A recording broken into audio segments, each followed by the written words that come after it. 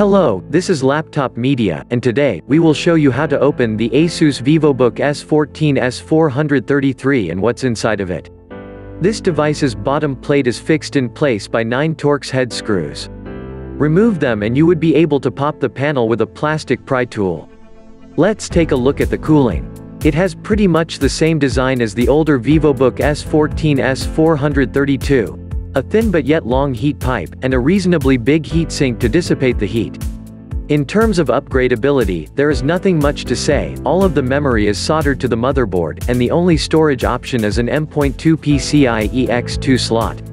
At least, the battery is decent for a device with this size, a 50 watt-hours unit.